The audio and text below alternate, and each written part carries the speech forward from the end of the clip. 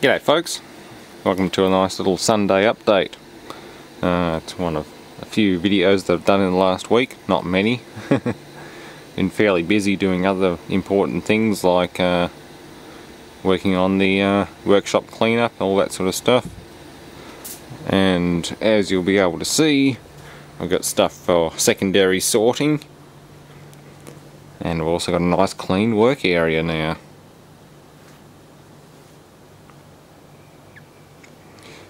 I've got the turbojet project, done a little bit on that one recently, like mount the turbo up and the oil supply in the housing, so that's all good.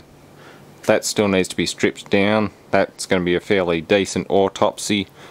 Pumping that thing is huge, it's a lot bigger than I thought, so I'm guessing they just made it as big as possible and just bypass any excess fluid because, well, in theory you could put fittings about that big in place of this with a bigger valve block.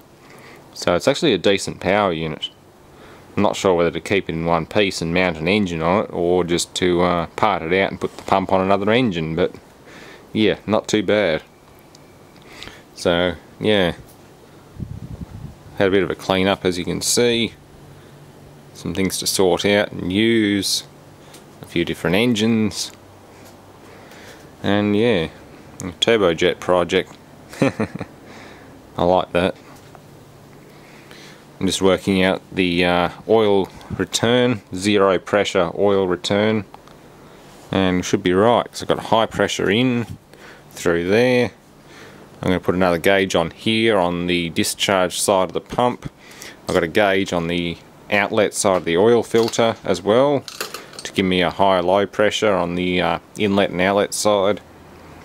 I've also got a cutout switch just in case things go critical. This will cut out at 90 psi and shut things down. And I'm going to have a 240 volt solenoid valve.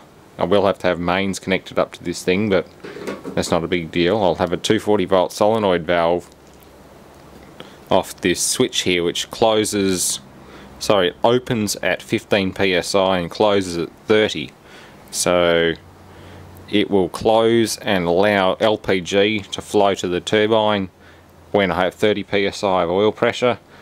Uh, if oil pressure drops down to 15 psi, which is pretty damn low, like I wish I had one which had a better, uh, oh sorry, I wish I had a pressure switch which had a better, better range, but if it does drop down, it will close this solenoid valve and shut off fuel before oil pressure reaches zero just in case of a, a, malfunction like a line rupture or something stupid like that.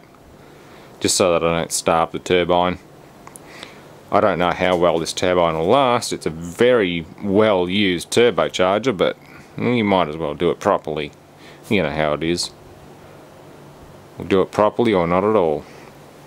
So I'm going to have a couple of safety features built into it including high pressure oil cutout and low pressure oil cutout. High pressure cutout will stop the motor, low pressure cutout will stop the fuel supply to the turbine. So yeah, of course the combustor is going to be out here when I build it. Um, yeah, that's that's going to be the next big thing.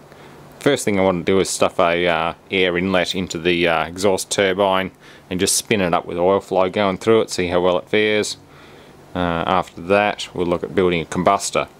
And uh, yeah we'll introduce some fuel oil. Or sorry not fuel oil but LPG then eventually fuel oil or uh, Jet A1 so should be pretty good.